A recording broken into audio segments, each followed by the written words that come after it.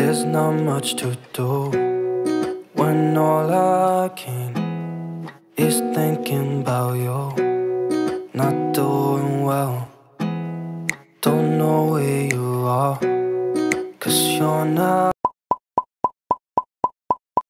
Oi, gente, tudo bem com vocês? Aqui quem tá falando é a Val Vieira e sejam muito bem-vindos para mais um vídeo aqui no canal. Como vocês devem ter visto no título do vídeo, vamos ter hoje uma rotina da noite de estudos e o objetivo desse vídeo é realmente que vocês relaxem comigo, que vocês saiam daqui se sentindo muito menos pressionados e que consigam aproveitar esse vídeo para estudar e também se sentirem, como eu disse antes, mais relaxados. Essa é a intenção. Então comecei a gravar esse vídeo depois de um dia intenso de estudos, mas eu ainda precisava ver uns últimos módulos de um vídeo. Eu recém tinha feito uma hora de exercícios e fui tomar um banho, então fui hidratar meu cabelo, esfolhar meu corpo. Eu adoro, gente, uma coisa que me ajuda muito depois de um dia intenso para conseguir realmente relaxar e descansar é tomar um banho bem quente, cuidar do meu cabelo, fazer um skincare. São atitudes, são pequenos hábitos que realmente fazem eu me sentir muito melhor, muito mais relaxada e como se fosse uma compensação pelo dia, sabe? Mas então, gente, queria muito passar umas dicas hoje para vocês sobre como a gente se sentir menos pressionado agora nesse EAD. No caso, nesse período de aulas à distância, eu imagino que a maior parte de vocês esteja tendo aulas em casa, porque parece que a gente está completando um ciclo, né? Parece que a gente nunca saiu de março de 2020 porque voltamos para quarentena, lockdown, pelo menos aqui na minha cidade a gente está em lockdown, e eu sei que isso acaba nos provocando sensações de frustração, às vezes a gente se sente meio desesperançoso, meio frustrado mesmo em relação aos estudos, sem motivação de ter que ficar mais um ano assim em casa. A gente não tem previsão, né, de melhora e eu sei como vocês se sentem e por isso eu quero passar algumas dicas para vocês que têm me ajudado a combater essas sensações. Mas antes de tudo, gente, queria dizer para vocês que esse vídeo é uma collab com o Roberto Studies, que tem um canal maravilhoso aqui no Instagram. Ele posta vários vídeos de rotina, vídeos de estudo, tem um perfil lá no Insta maravilhoso também com vários conteúdos legais. E ele acabou de postar um vídeo de rotina da manhã. Eu postei de rotina da noite e ele rotina da manhã dos estudos. Então depois de assistir esse vídeo, corre lá no canal dele para conferir o vídeo dele e se inscrever.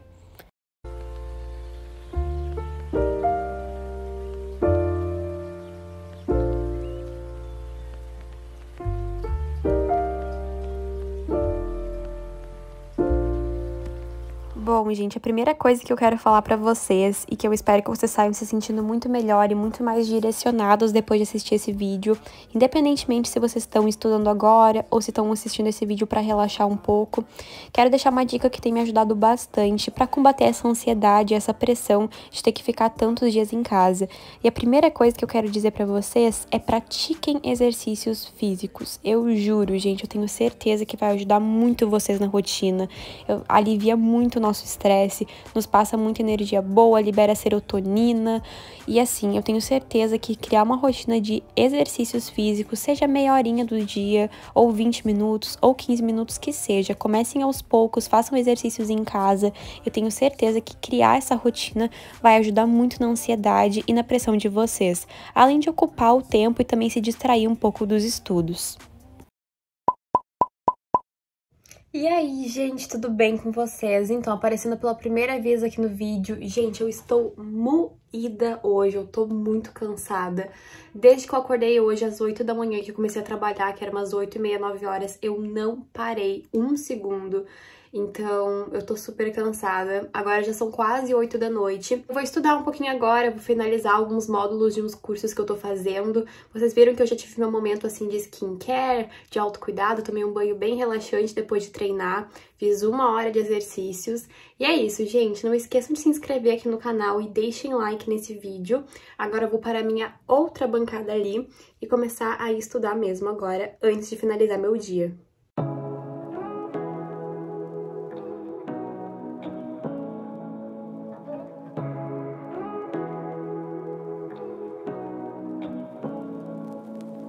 Say what you wanna say to me now.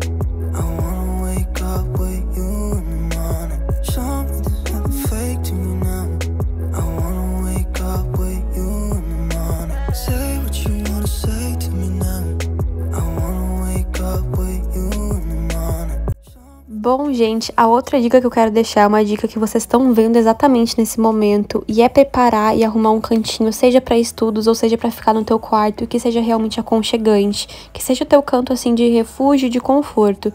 Então, assim, para mim, eu sou completamente apaixonada por incensos e velas aromáticas, inclusive as que eu tô usando ali são da loja Gravitando e eu amo, e realmente me ajudam a me sentir mais calma.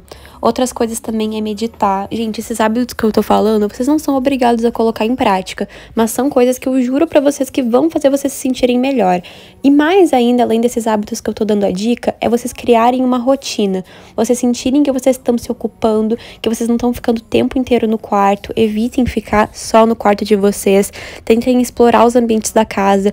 Então, assim, preparar um cantinho aconchegante de noite para ficar no quarto, mas durante o dia estudar na sala, estudar na cozinha, estudar no pátio se vocês tiverem, mudar os ambientes agora, fazer exercícios físicos, meditar e tomar muita água, são atitudes, são pequenos hábitos que são simples, não demandam muito tempo do dia de vocês. Vocês podem se exercitar e meditar em questão de meia hora e que vão ajudar muito vocês a combater a ansiedade e se sentirem menos pressionados.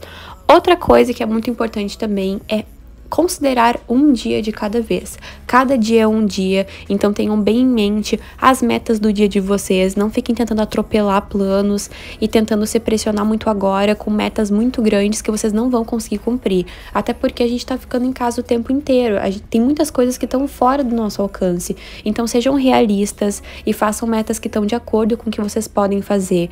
Sejam pessoas organizadas nas metas, nos planejamentos e sejam bem específicos. E de verdade, levem como mantra: cada dia é um dia. Estuda uma coisa a cada dia, um passinho de cada vez. É assim que a gente tem que levar agora nessa época. E acima de tudo, colocar em prática essas dicas que eu tô dando: tomar muita água, se exercitar, estudar em diversos ambientes da casa, preparar um cantinho aconchegante para vocês, meditar. São atitudes que vão ajudar demais vocês. That's why I don't worry about the things that I don't see. Yeah. These days I don't worry about much. I think we should have some more fun. I still dream about the days when we were young. I'll take a hit and still finish in one. Yeah, yeah. Oh, oh, oh, oh. Memory lane isn't that too far away from our hearts. Yeah, yeah. The ones we keep close, we should never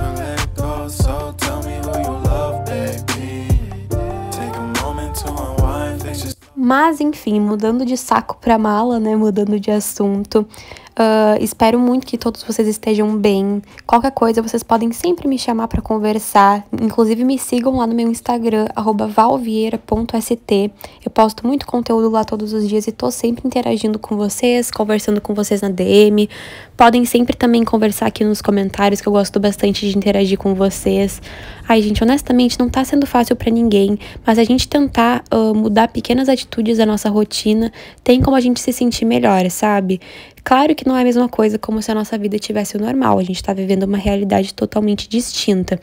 Mas são atitudes que realmente nos ajudam a nos sentir melhor. O importante agora é a gente se cuidar, a gente se sentir bem.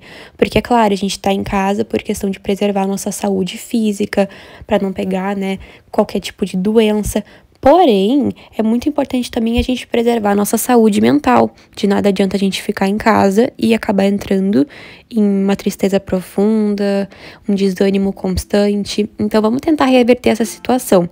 Assistam vídeos que deixam vocês felizes, façam pausas, tentem criar hobbies que vocês consigam fazer em casa, que divirtam vocês. Seja pintar, escrever, desenhar, assistir um filme. Tentem se ocupar com coisas que fazem vocês bem. Por isso que eu friso tanto essa importância do exercício físico, porque ele realmente libera hormônios que fazem com que a gente se sinta muito mais feliz, muito melhor. Então, tentem se cercar de coisas que façam vocês bem, principalmente nesse momento. Façam ligações com as amigas e não tentem achar que os estudos definem a vida de vocês. Não fiquem o tempo todo estudando, senão a gente ainda acaba se sentindo desmotivado, uma hora a gente se esgota, sabe? Então, tentem manter o equilíbrio em todas as áreas da vida de vocês. Estudem claro, mas porém não só estudem, façam outras coisas também.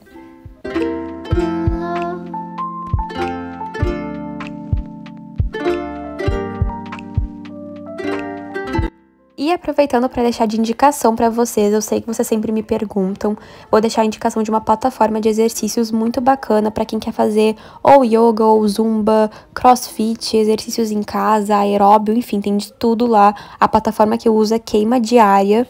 Vou deixar o nome aqui na tela para vocês verem. É bem baratinha, uma assinatura acho que de 25 reais por mês, mas super compensa pro tanto de exercício que tem ali dentro. Pode dividir com amigo, com família, enfim. Então vale super a pena.